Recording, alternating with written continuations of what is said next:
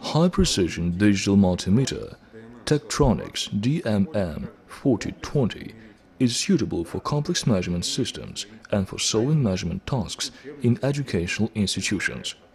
It offers excellent technical characteristics along with a rich set of features and analytical capabilities.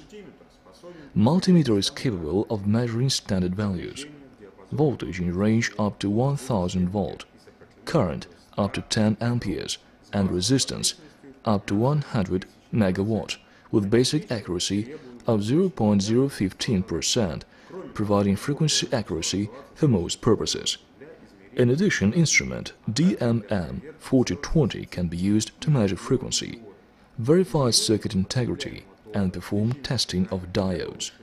Measuring current consumption in standby mode to enhance energy efficiency in modern instrument engineering requires measurement of very small values, particularly in ranges of few microamperes and nanoamperes.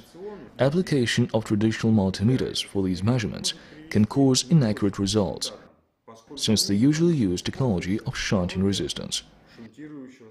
DMM 4020 offers an improved method for measuring small currents. Through the use of the technology current voltage amplifier, the instrument can make measurements with a resolution of 1 nanoampere and with a minimal load of the measured circuit.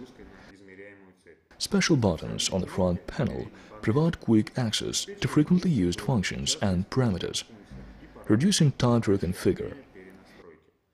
You do not need to do tedious search in the program menu to find a necessary function.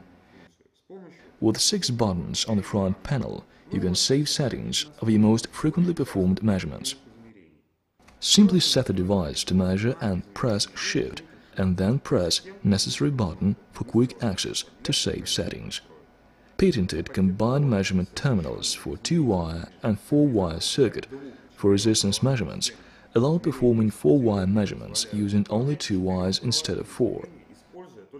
As a result, you have excellent resolution and accuracy as well as ease and convenience of using one pair of probes. For quick rejection, there is a sorting mode which allows running test pass-fail. This is particularly important when measurement results are close to extreme values. Device is connected in a computer using RS-232 cable, which is included into a supply package.